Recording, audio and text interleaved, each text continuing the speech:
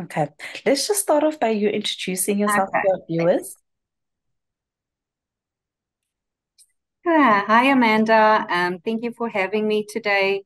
My name is Marie Payne. I am the Director for Education and Outreach Services here at Sesame Workshop South Africa, based in Johannesburg. Okay, and then can you just kindly tell us um, what are some of the methods that are currently being, used?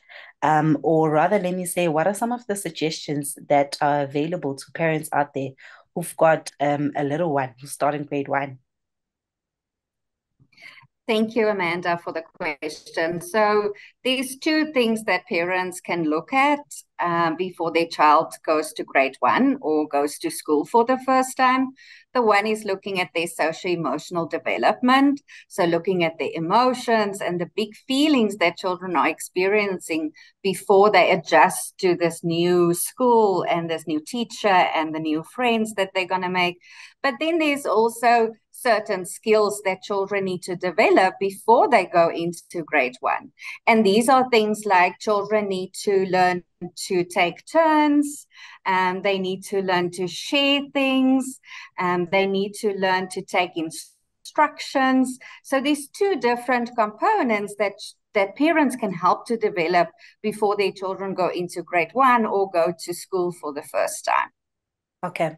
And why is it important um for for for kids to learn all these skills? I mean, um, we were all at some point in grade one, and at that time there were a lot of feelings and a lot of changes that were happening.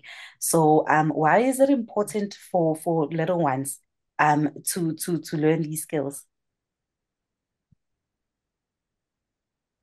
So it helps them to adjust to school and it also helps them to to learn social emotional behavior um, they need to be able to develop their skills, not only to be able to thrive while they are in school, but also in the workplace one day. You need to be able to control your emotions. You need to be able to share things. You need to be able to collaborate. You need to be able to take instructions. So, this is not only important for school, but it's also important skills that they need for the workplace one day to build them up as as a social emotional capable adults um, that knows how to deal with the emotions what is acceptable behavior and what is not Okay.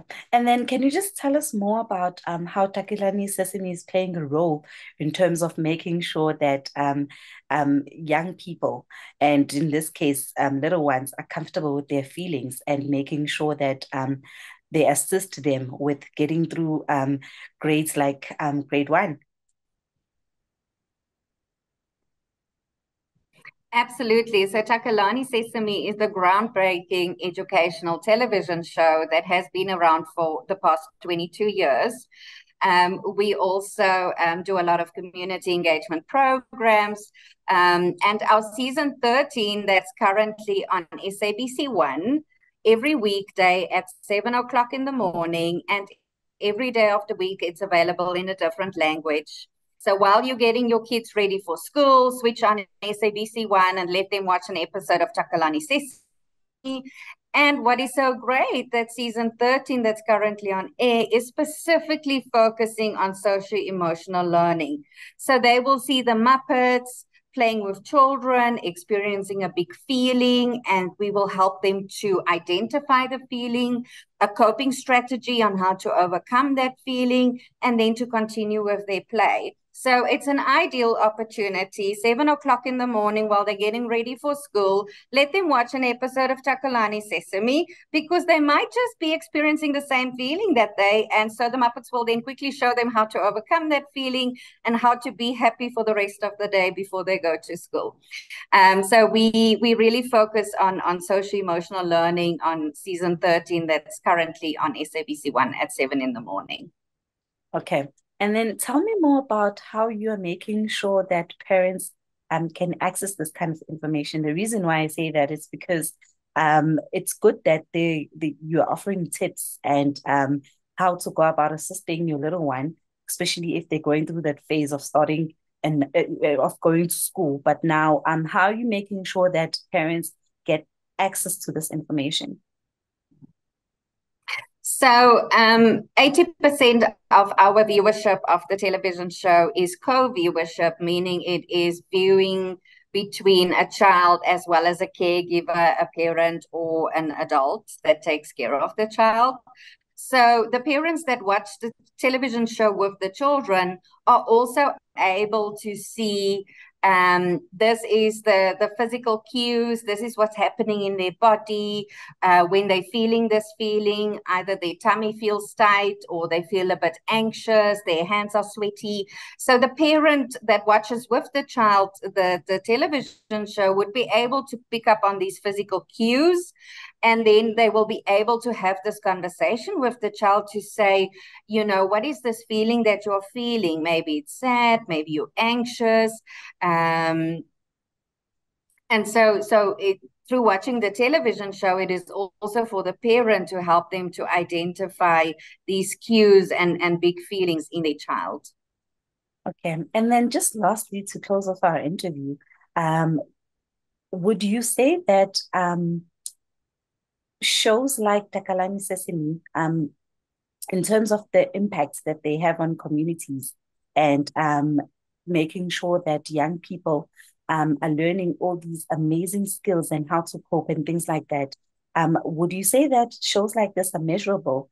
And if they are measurable, how are you making sure that you're measuring the success of a show like this?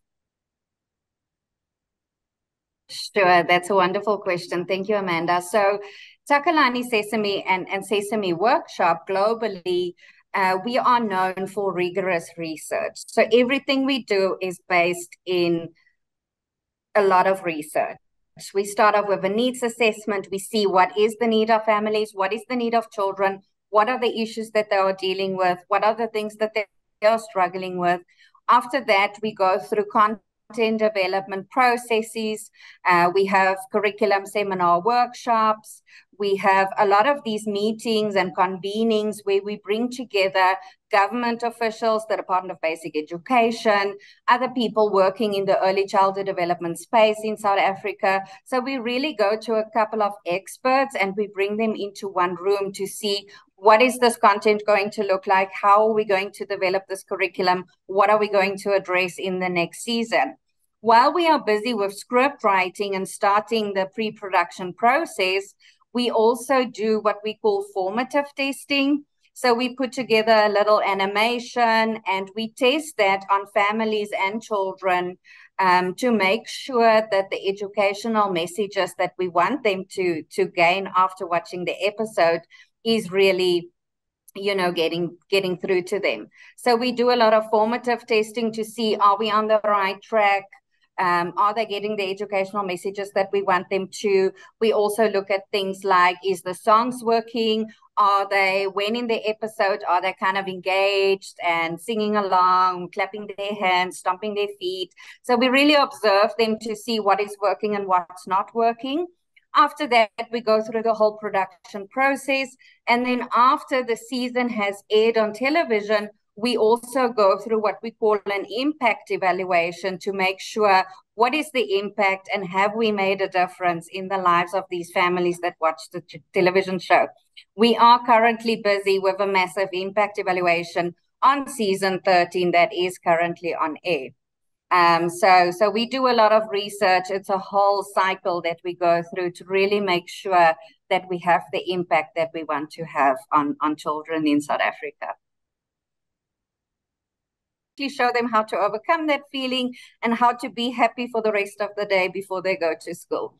Um, so we we really focus on on social emotional learning on season 13 that's currently on SABC One at seven in the morning. Okay.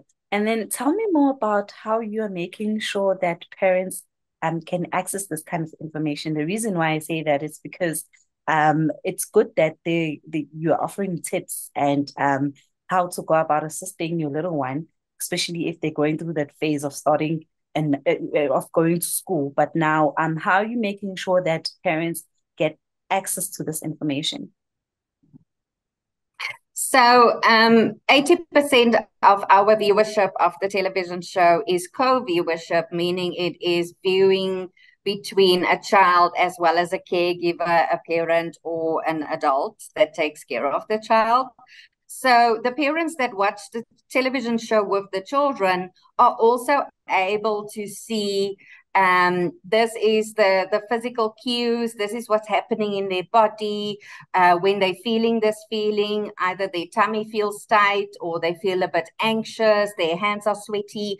So the parent that watches with the child the the television show would be able to pick up on these physical cues and then they will be able to have this conversation with the child to say you know what is this feeling that you're feeling? Maybe it's sad maybe you're anxious um, and so so it through watching the television show it is also for the parent to help them to identify these cues and and big feelings in their child. Okay and then just lastly to close off our interview um, would you say that um, shows like Takalani Sesame, um, in terms of the impacts that they have on communities and um, making sure that young people um, are learning all these amazing skills and how to cope and things like that. Um, would you say that shows like this are measurable? And if they are measurable, how are you making sure that you're measuring the success of a show like this? Sure, that's a wonderful question. Thank you, Amanda. So, Takalani Sesame and, and Sesame Workshop globally, uh, we are known for rigorous research. So everything we do is based in a lot of research. We start off with a needs assessment. We see what is the need of families, what is the need of children, what are the issues that they are dealing with, what are the things that they are struggling with. After that, we go through content content development processes. Uh, we have curriculum seminar workshops. We have a lot of these meetings and convenings where we bring together government officials, the Department of Basic Education, other people working in the early childhood development space in South Africa. So we really go to a couple of experts and we bring them into one room to see what is this content going to look like? How are we going to develop this curriculum? What are we going to address in the next season? While we are busy with script writing and starting the pre production process, we also do what we call formative testing. So we put together a little animation and we test that on families and children um, to make sure that the educational messages that we want them to to gain after watching the episode is really you know getting getting through to them. So we do a lot of formative testing to see are we on the right track?